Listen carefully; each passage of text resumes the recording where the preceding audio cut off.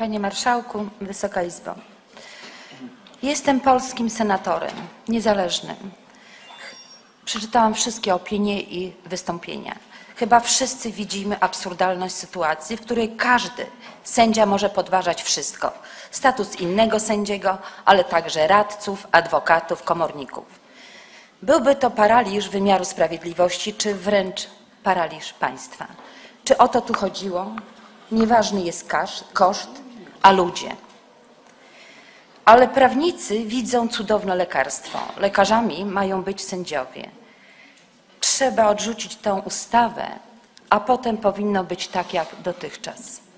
Przez te wszystkie lata nie udało się zmienić, zmienić tak wymiar sprawiedliwości. Po jednej stronie są sędziowie, niezwykle wpływowi. Większość to wspaniali ludzie, wykształceni, rzetelni, postępujący zgodnie, zgodnie z zasadami etyki, kierujący się poczuciem misji, ale wśród nich jest wielu, zbyt wielu, takich, których trudno nazwać sędziami. Dlatego potrzebna jest tak zwana izba dyscyplinarna.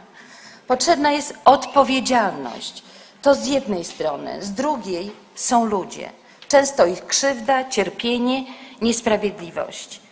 Oni nie przyjadą do Warszawy na marsz. Nie przyjdzie tu pan Parowicz, który zmarł jako chory nędzarz, pokrzywdzony przez sędziego.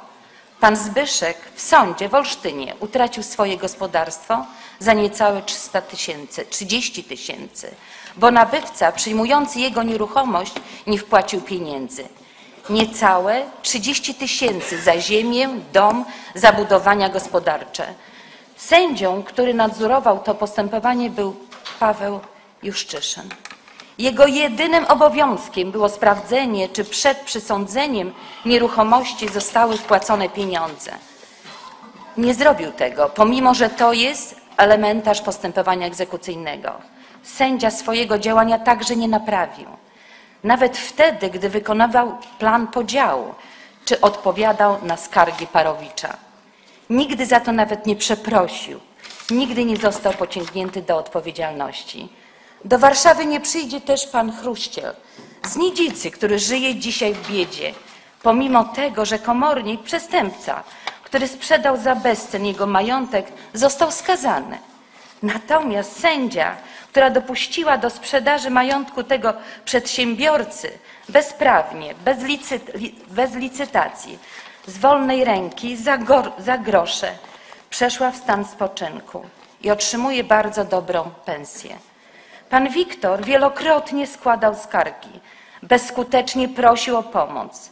Co robi dzisiaj prokurator, który wcześniej umorzy postępowanie wobec komornika bandyty?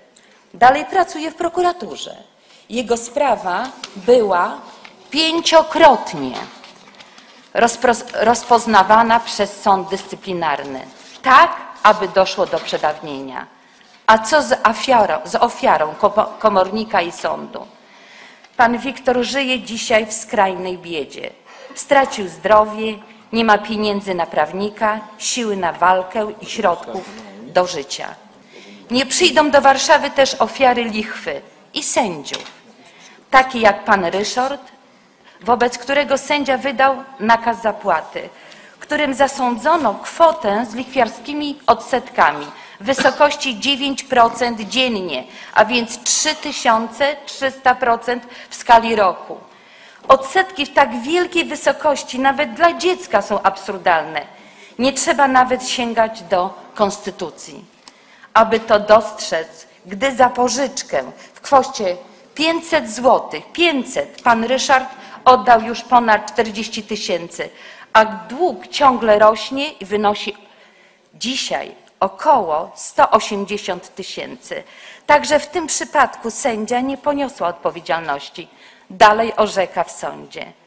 Do Warszawy nie przyjedzie także kobieta, której, co widziała cała Polska, sędzia na pewno przez roztargnienie zabrał 50 zł. Co robi ten sędzia? Dalej sądzi innych. Do Warszawy nie może przyjechać również pani Tatiana i jej mąż którym zabrano przepięknie położone na Warmii i Mazurach gospodarstwo. Sąd, nie pomyli, sąd się pomylił w sentencji wyroku. Chciał nawet naprawić błąd, ale sąd drugiej instancji stwierdził, że ważna jest tylko sentencja. To nic, że z uzasadnienia wynika coś zupełnie innego. I zgodnie z tą sentencją zabrano temu małżeństwu dach nad głową. Nikt nie krzyczał, że przecież jest konstytucja. Do Warszawy nie przyjedzie też pani Basia z Podolsztyna, matka siedmiorga dzieci, wyrzucona ze swojego mieszkania własnościowego na bruk w dziewiątym miesiącu ciąży. Ta kobieta została perfidnie oszukana, a w jej mieszkaniu zamieszkała córka księgowej spółdzielni i po dwóch latach je sprzedała, oczywiście po cenie rynkowej. I zamieszkała już w nowym mieszkaniu, wybudowanym przez tą spółdzielnię w tak zwanym sędziowskim budynku. A co z panią Basią i z jej dziećmi? Zabrano im dach nad głową, mieszkanie, za które pani Basia w całości zapłaciła. Walczyłam o tą rodzinę kilkanaście lat, kilkanaście, szesnaście lat. I jaki jest efekt? Sąd skazał księgową, ale czy poniosła za to karę adekwatną do czynu? Sąd łaskawie dał jej rok w zawieszeniu i nakazał naprawić szkodę. Czyli dla pani Basi księgowa miała zapłacić, uwaga, 22 tysiące. I to w ciągu roku. I to było przecież 60-metrowe mieszkanie w centrum Olsztyna. To był wyrok. A gdzie sprawiedliwość? A konstytucja? To nie wszystko, bo w tym samym procesie z panią Basią spółdzielni, bo było tak zwane przedawnienie. Dalej, jak stwierdził sąd, była zbyt mała wartość szkody spółdzielni. Nie 200 tysięcy, a 194 tysiące. Przy ustalaniu wartości szkody nie uwzględniono jednak wartość rynkową gruntu, a tylko opłaty za użytkowanie wieczyste. A chodziło o budowę, o, bud o budowę tak zwanego budynku sędziowskiego, w którym mieszkania w zaniżonej cenie właśnie między innymi o koszt gruntu nabyli między innymi sędziowie, prokurator, rodzina prezesa księgowej. I tego mało. Temu prezesowi sąd bulwersującym wyrokiem zasądził kwotę prawie 2 milionów złotych. 2 milionów. Tytułem odszkodowania i zadośćuczynienia za 8 miesięcy aresztu, czyli 7,5 tysiąca za dzień. Po jednej stronie pani Basia i dla niej 22 tysiące za odebrany dach nad głową i z drugiej strony miliony. Czy dlatego, że w sądzie orzekała sędzia, która pracowała razem z inną sędzią, znaną z, ran, z nagrań rozmów prezesa sędziami z Olsztyna. Na przykład tutaj pan Marek pokazywałeś różne rozmowy, więc ja też pokażę. Na przykład jakie to były rozmowy. Sędzia z Olsztyna w rozmowie z prezesem. Mówi sędzia. Jutro będzie to załatwione. Wszystko w porządku. Był to sędzia, który był w Wydziale Karnym. Dzisiaj też jest. Jest tam do dzisiaj. Pani senator, jest... przepraszam. Y, czas upłynął już, jest 11 minuta. Zapiszę Panią jeszcze raz. Okej, okay, to może ja chociaż te dwie minutki, które tam każdy miał, dobrze? I potem... Nie, nie, ma, nie miał każdy, u mnie nie ma każdy dwie minuty, także dziękuję. Na pięć minut Panią zapisuję na następne wystąpienie. Pięć minut teraz. Dziękuję bardzo, więc postaram się szybko. Rozmowa prezesa z innym sędzią. Jarku, czy mogę nadużyć Twojej uprzejmości? A, to nowy czas, że tak powiem, proszę. Już dobrze? I jeszcze raz. Rozmowa prezesa z innym sędzią.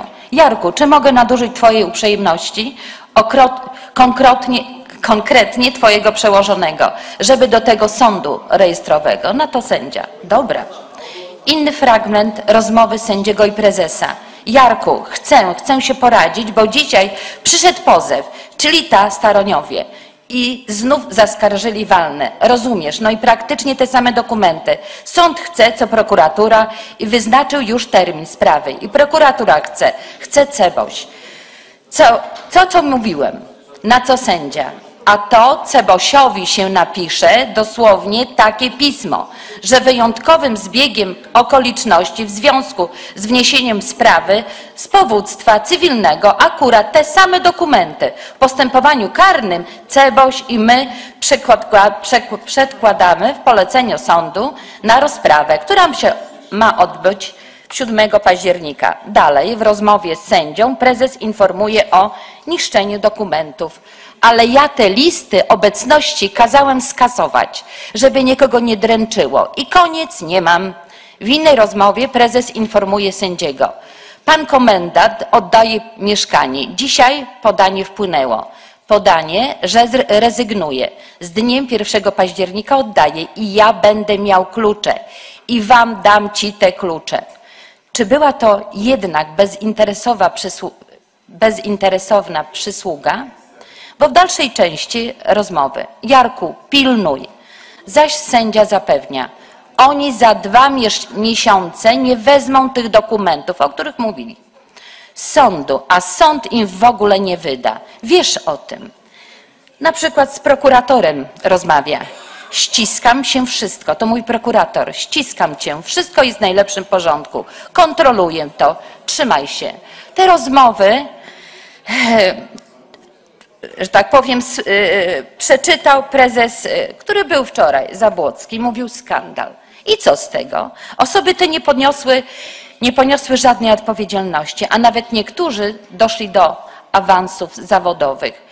I te osoby zamieszkali w atrakcyjnych mieszkaniach wybudowanych przez spółdzielnie. Te osoby dzisiaj, które są właśnie w tych e, rozmowach, w tych nagraniach, są dzisiaj e, kierownikami katedr, e, w uniwersytecie i karnych, i cywilnych katedr. Więc tak to wygląda.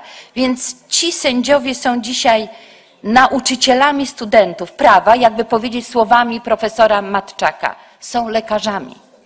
A ta choroba jest ciężka i wydaje się bardzo zakaźna, czy nazywa się bezkarność. Nie można spłycać dyskusji o niezawisłości i sprawdzać jej tylko do niezależności od władzy ustawodawczej, wykonawczej, pomijając zawisłość od innych osób i grup interesów faktycznie dzierżących określoną władzę, dysponujących pieniędzmi i wpływami. Czy nowela narusza trójpodział władzy? Niezależność sędziów wydających wyroków od władzy ustawodawczej, wykonawczej. Ani ustawodawca, ani władza wykonawcza nie może ingerować w wydawane rozstrzygnięcie sądów i to się nie może zmienić. Wydaje się, że nie zmienia.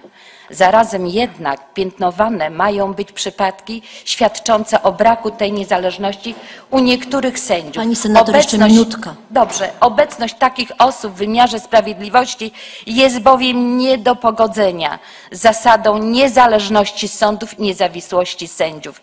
Niezawisłość, niezależność dotyczy zawsze rozpoznawania okretnej konkretnej sprawy. Oznacza wolność sędziego od zewnętrznych zacisku, nacisku, przepraszam.